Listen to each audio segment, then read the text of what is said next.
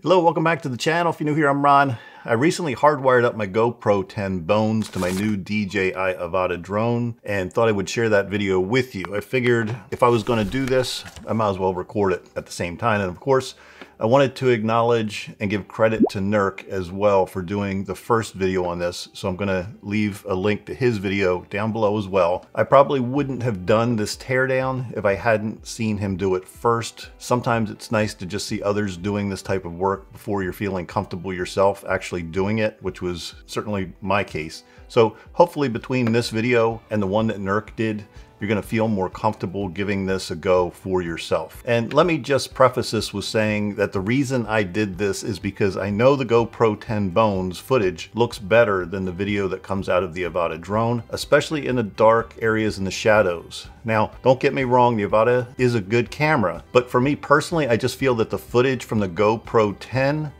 with, when you combine that with the ReelSteady, it's just a better look. So especially for the type of FPV footage that I want. Now, for 95% of you, you're gonna love the footage straight out of the Avata, but for the other 5% of you out there, well, keep on watching. And to keep things really simple, I broke this video down into chapters, which are down below. So if you need to, you can jump around in this video more easily. But please watch the whole thing. I need the watch time. And I highly recommend separating out your screws as you're removing them because the Avata uses different M1, M2 screw sizes and you just don't want to mix these up. And if I'm not mistaken, I counted 32 screws that you're going to be removing for this particular setup. And you'll also find similar maintenance information within the DJI Avata user manual, pages 64 through 71, if I'm not mistaken. Oh, and a quick plug for the electric screwdriver that I'm using in this video. Not sponsored, but it works great. I'm gonna leave links below if you're at all interested. So here we go. Okay, so the first step you're gonna do is flip your quad over on its back and remove the props. You have two screws for each prop, so eight screws total.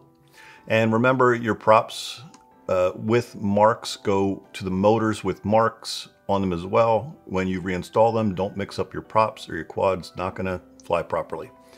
More detail about props and the markings on page 26 of the user manual. Step two, flip your quad back over, top side, remove the two side screws toward the middle of the quad.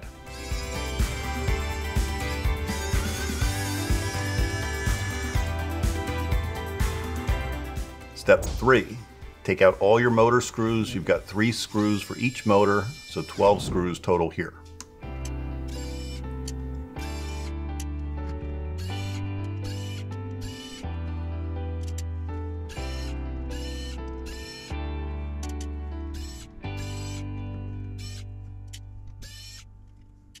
Step four, now again, on the bottom side, take off the two screws holding on the downward vision sensor and you'll need to disconnect the FPC connector. It pulls right off. Just don't pull or overextend the ribbon cable when you do this.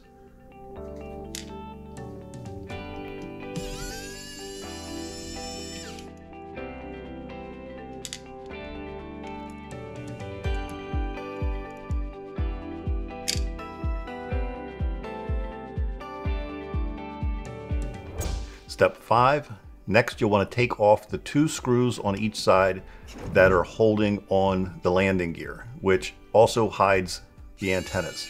And you'll have four screws total here.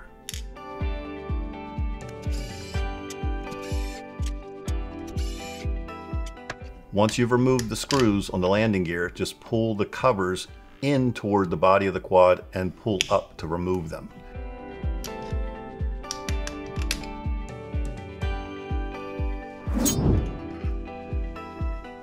Then you can pull the little tab on each antenna to remove the antenna board itself.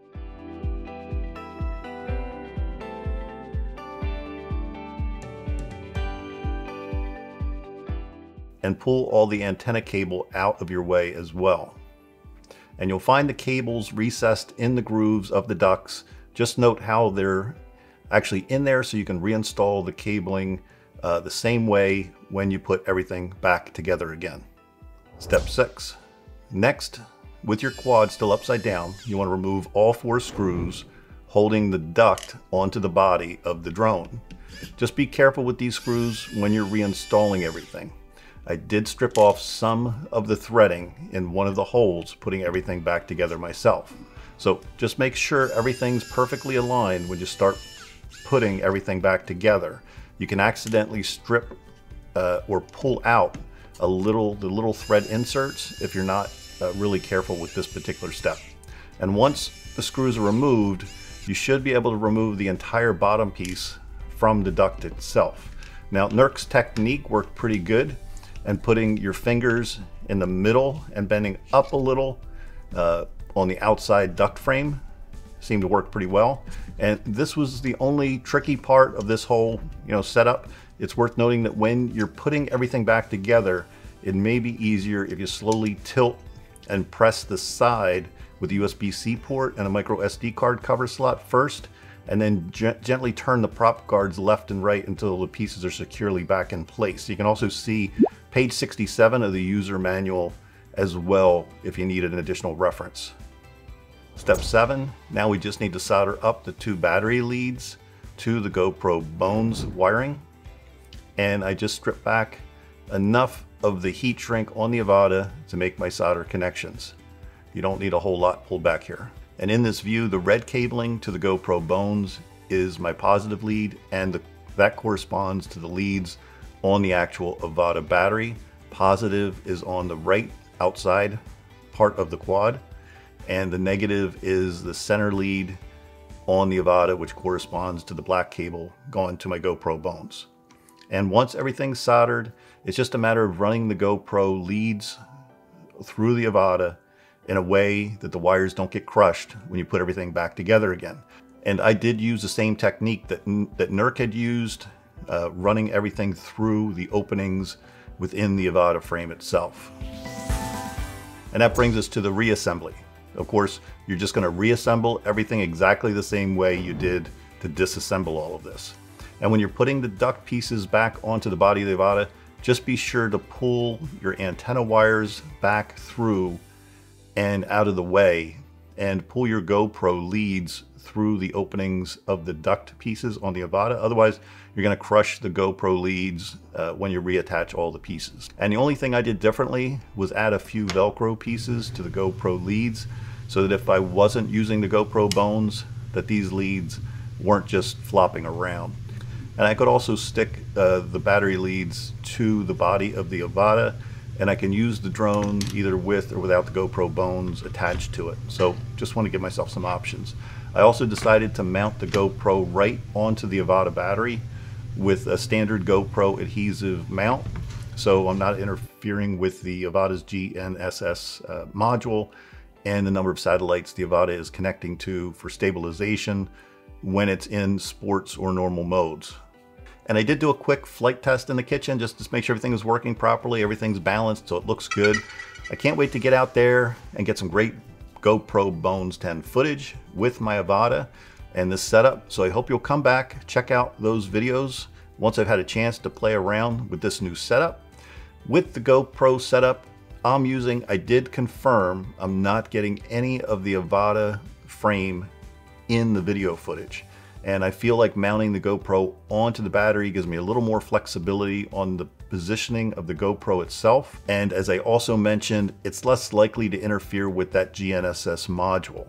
I'm to also play around with the extended GoPro mount using it versus not using it as I've heard getting rid of the extended mount piece for, on the GoPro will reduce some of that extra vibrating or the micro jitters.